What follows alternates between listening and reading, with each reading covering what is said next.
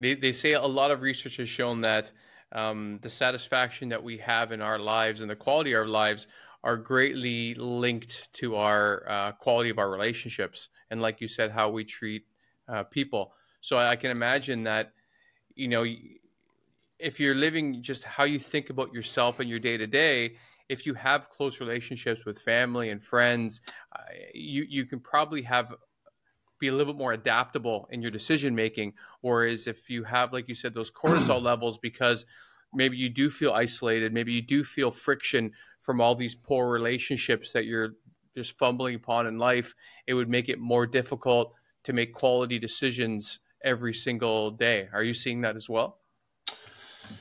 So I have a an exercise that I've done with literally thousands of people to help people understand what you just talked about. Um, the last book that I wrote before Sapiens Reinvented, I wrote with Dr. Sheila Ohlsson Walker.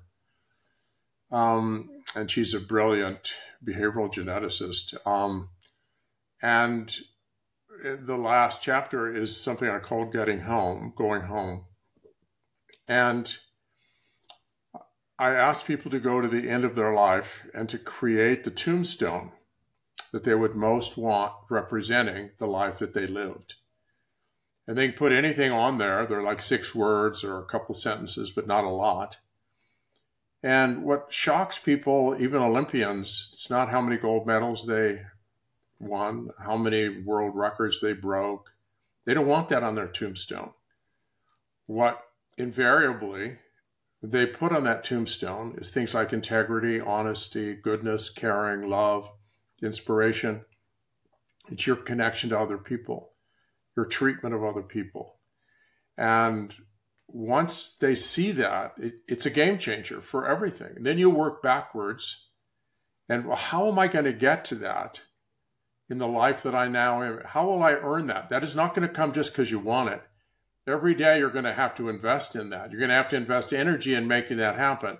Mm-hmm. And so you all the way, what can I do today so that my tombstone reads exactly the way I wanted to read, and it's not phony. It's the it's the real person I was when I was here, and that is probably the single most powerful exercise in helping people understand what their purpose is, what their ultimate mission in life is.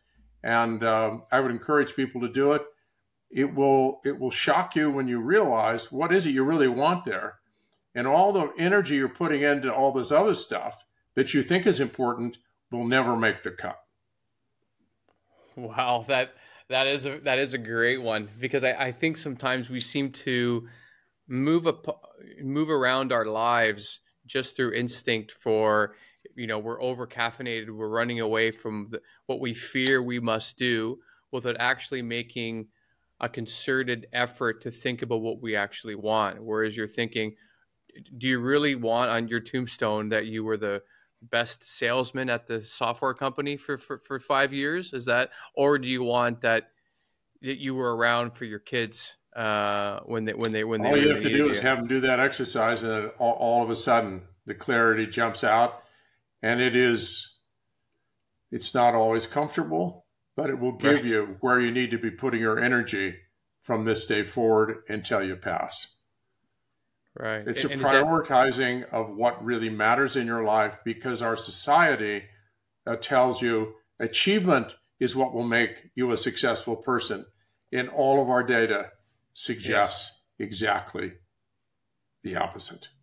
It's right. who you were, who you became as a consequence of the chase, and most importantly, how you treated others, how you cared for others, who you were to others when you were here.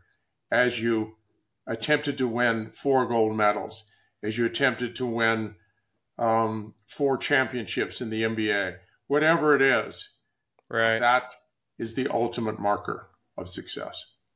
Right.